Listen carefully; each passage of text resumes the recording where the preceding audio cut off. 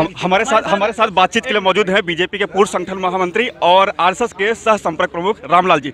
रामलाल जी, क्या लगता है आपको इस चुनाव में शाहीन बाग का मुद्दा गुजरा है?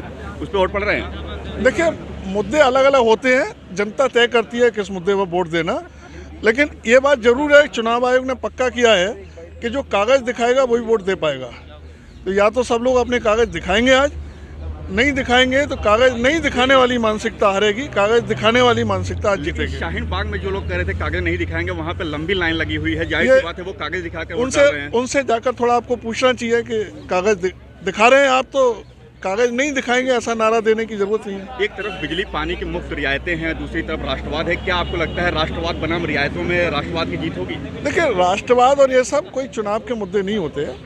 ये एक भावना है जो भावना सब में रहना भी चाहिए होना भी चाहिए।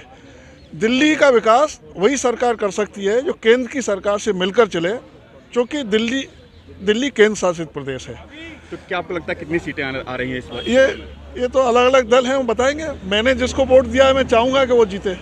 तो ये थे बीजेपी के संगठन महा पूर्व संगठन महामंत्री और आरएसएस के सह संपर्क प्रमुख रामलाल जी, जो कह रहे थे कि हालाँकि वो अभी ये बताने की स्थिति में नहीं है कि बीजेपी कितनी सीटें आ रही हैं, लेकिन उनका कहना है कि शाहीन बाग के मसले पर भी जनता एकजुट है और उनका ये कहना है कि जो लोग कह रहे थे कागज़ नहीं दिखाएँगे, वो क्या है, वोट डालने के लिए उन्हें कागज़ दिखाना पड़ रहा है।